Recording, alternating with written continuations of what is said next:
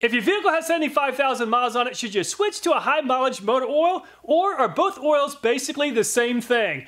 We have two different brands to test today, Mobil 1 and SuperTech, so let's find out. We'll see if high mileage oil conditions rubber engine components. Then we'll see which brand flows the best when the oil is extremely cold. We'll see which oil offers the best protection against engine wear. I paid an independent oil lab to provide us with a detailed report for all four motor oils. This is the first time I've tested SuperTech's and Mobil 1's API SP motor oils. In the past, I tested their SN and SN Plus motor oil. Let's send off the oil to an oil testing lab. The oil lab will provide us a lot of great information on the oil's anti-wear additive package, detergent dispersant content, as well as the oil's total base number. By the way, I always shake the oil containers before sending off samples for testing since some of the additive package may actually fall out of suspension and settle at the bottom of the container. Synthetic oil is supposed to flow better compared to conventional oil when it's cold so that moving parts begin getting lubricated sooner. So I'll go ahead and place new oil in a freezer that's set to minus 40 degrees Fahrenheit and we'll leave the oil in the freezer for 24 hours. While prices seem to be going up faster than I could upload videos, right now 5 quarts of the SuperTech is right at $20. All the oil we'll be testing is SAE 5W30. For the 5 quart container, just like the full synthetic, the high mileage version costs right at $20. The front of both oil containers look nearly identical, 10,000 miles of superior wear protection, and both are full synthetic. However, one is the high mileage full synthetic version. The high mileage version is for engines over 75,000 miles. It has all the same ratings, including the API SP and ILSAC GF6A. Both oils have the DEXO certification.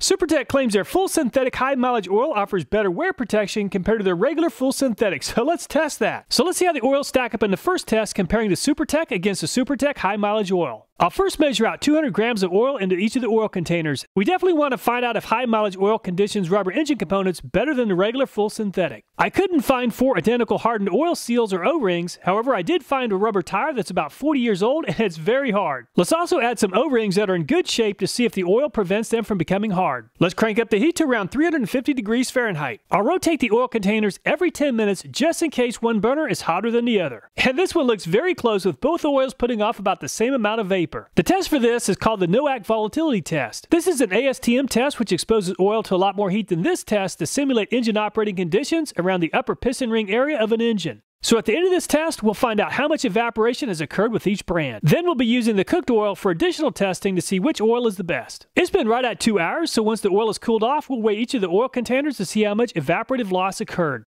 And the SuperTech oil container started out weighing 405.36 grams and now it weighs 399.64, which is a loss of 5.72 grams. The SuperTech high mileage oil container started off weighing 441.84 grams and now it weighs right at 436.27 grams, a loss of 5.57 grams. So the SuperTech high mileage performed just a little bit better than the regular full synthetic. Before we get to the cold oil flow test, let's first test the lubricity or the film strength of the oil. Let's begin by adding 40 milliliters of oil that's been exposed to heat into the test cups. Before beginning the test, I'll coat the test wheel as well as the test pin with motor oil to avoid damage caused by a dry start. The lubricity test will provide us with some great information on how the oil performs. After the test, we'll compare the size of the wear scars on each of the bearings to determine which oil provides the best film strength. While this test doesn't simulate engine operating conditions perfectly, it'll definitely provide us with some great information. Before we move on to the high mileage SuperTech, I'll first use brake parts cleaner to clean the test equipment and then use sandpaper to resurface the test wheel. And a watt meter is about the same as a regular SuperTech. And there seems to be very close to the same amount of friction with the high mileage oil. So they seem to be very close in performance. And a SuperTech full synthetic is on the left and a SuperTech high mileage is on the right. It's obviously very close, so I used the microscope with my calipers to get an accurate measurement. The size of the wear scar on the regular SuperTech is just a little bit smaller than the high mileage oil. Before we test the film strength of the Mobil 1 oils, let's first compare how all four oil brands perform at minus 40 degrees Celsius, which is also minus 40 degrees Fahrenheit. The SuperTech is in lane 1 all the way to the left, SuperTech High Mileage lane 2, Mobil 1 lane 3, and Mobil 1 High Mileage lane 4. And the Mobil 1 High Mileage is the first one out of the gate. And the SuperTech High Mileage is in a close second. And the regular full synthetic SuperTech is just behind the SuperTech High Mileage. So the high mileage oils are actually flowing faster when they're very cold compared to the regular full synthetics. And I'm really surprised to see the Mobil 1 in a distant fourth place. And the Mobil 1 high mileage oil seems to be unfazed by the extreme cold and is flowing very quickly. And the SuperTech oils are way out in front of the Mobil 1. And it's the Mobil 1 high mileage for the win. And the SuperTech high mileage just finished in second, and the regular full synthetic SuperTech just finished in third. And the Mobil 1 full synthetic finally finished the race in a distant fourth.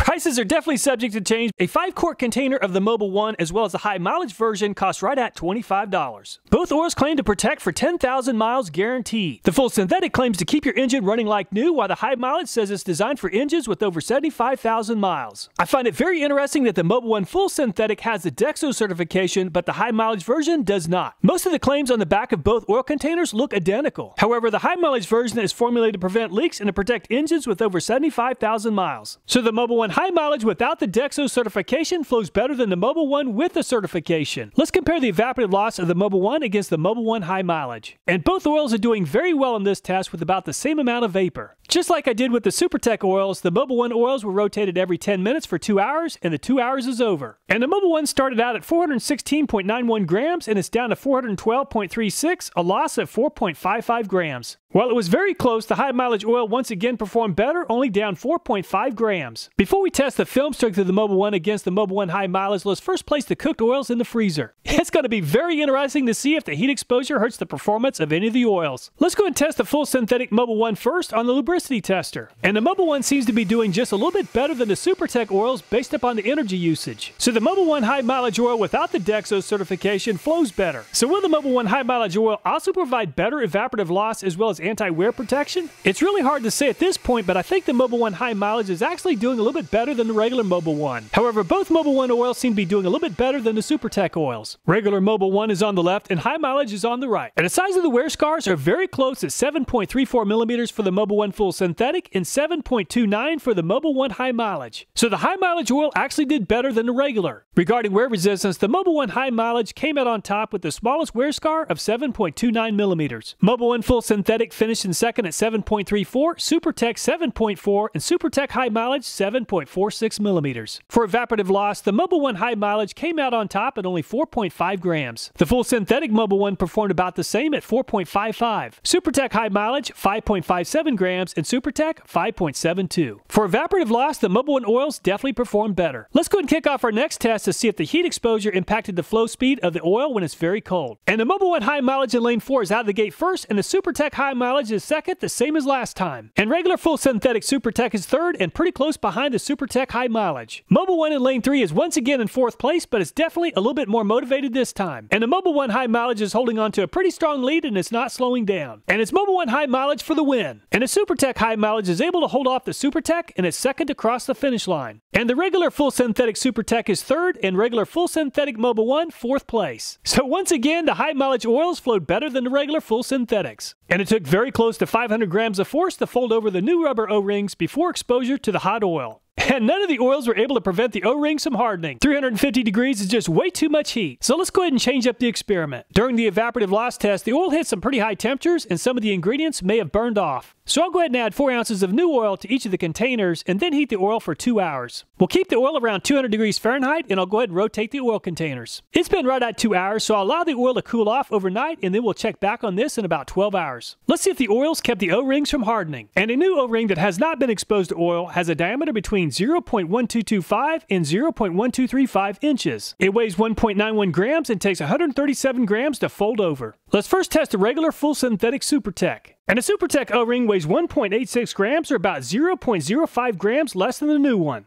And it took about 10 grams less pressure than the new one to fold over. And the oil exposure did not cause the O-ring to swell. And the Supertech High Mileage weighs the same as new at 1.91 grams. However, the diameter of the O-ring is just a little bit larger than new between 0.124 and 0.125 inches. At 124 grams of folded O-ring, it's 3 grams less or pretty much the same as the regular Supertech. And the Mobil 1 O-ring weighs 1.87 grams or a small amount less than new. No change from the original size of the O-ring. 134.36 grams is very close to the same force to fold the O O-ring as the new one. And the Mobil 1 high mileage O-ring weighs the same as the Mobil 1 O-ring at 1.87 grams. And the size of the O-ring might be just a little bit larger than new, but not by much. 129 grams to fold the O-ring. If you'd like to see the original oil analysis results, I'll leave a link in the video description to all four reports. Three of the four brands had one part per million aluminum and the same for iron, which is pretty typical and nothing to be worried about. Fortunately, there's no other harmful metals in the new oil. Barium, boron, calcium, and magnesium are detergents dispersants. I'm pretty surprised to see that the Supertech oils have about about 500 parts per million more detergents dispersants compared to the Mobil 1 oils. However, Mobil 1 does seem to have a little bit better base oil as demonstrated on the lubricity tester and the evaporative loss test. Also, SuperTech uses a little bit higher concentration of calcium while Mobil 1 favors magnesium. If you want your engine to last a long time, an anti-wear additive package is very important. And the Mobil 1 high mileage oil came out on top at 1,629 parts per million with a very nice looking anti-wear package. SuperTech high mileage has the second highest amount at 1,546. So the high mileage oil in this showdown offer better wear protection than the regular full synthetics. The total base number is the oil's ability to neutralize acids, and once again, the high mileage oils have the advantage at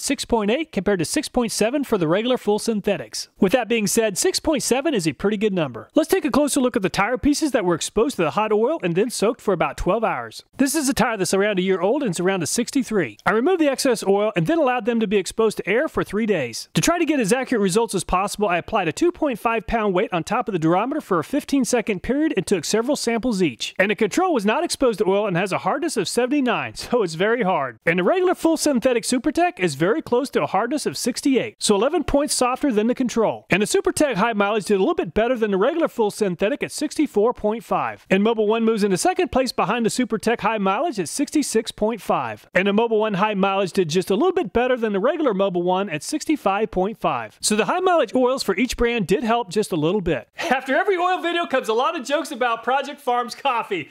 So I decided to come up with a coffee brand called Ozzy's Coffee, including three different options. Of course, there's Octane Booster, and if you're like me, you need a jump starter in the morning, and finally, some full throttle in the afternoon. There's a link in the video description. I have a couple of vehicles with well over 200,000 miles, and I like using the high mileage oil to help slow or to prevent the oil leaks. However, the high mileage oil doesn't seem to do a good job, for me at least, at stopping oil leaks. Regarding the oils tested in this video, I really like the Mobil 1 high mileage oil. It performed extremely well However, it does not have the DEXO certification. So if your vehicle's under warranty, just be careful with that. So would I use the high mileage SuperTech in my vehicles? Absolutely. It's a great price at $20 and it also performed very well. A great value oil.